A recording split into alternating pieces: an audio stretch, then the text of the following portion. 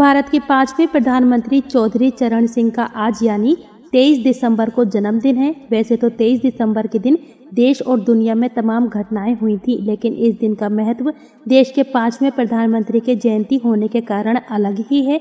चौधरी चरण सिंह का जन्मदिन भारत में किसान दिवस के रूप में मनाया जाता है, क्योंकि पूर्व प्रधानमंत्री स्वर्गीय चरण सिंह किसानों के हमदर्द थे। इसी को लेकर आज उत्तर प्रदेश के जनपद मुरादाबाद में भी उनको याद किया गया और किसानों के हमदर्द चौधरी चरण सिंह का जन्मदिन मनाया गया।